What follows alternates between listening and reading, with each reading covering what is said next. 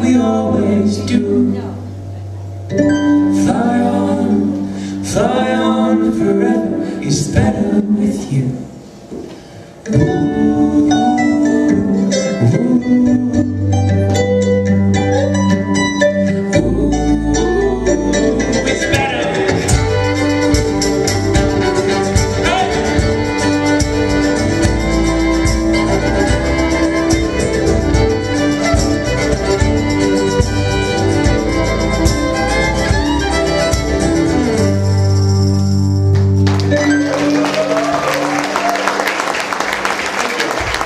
Guys so much.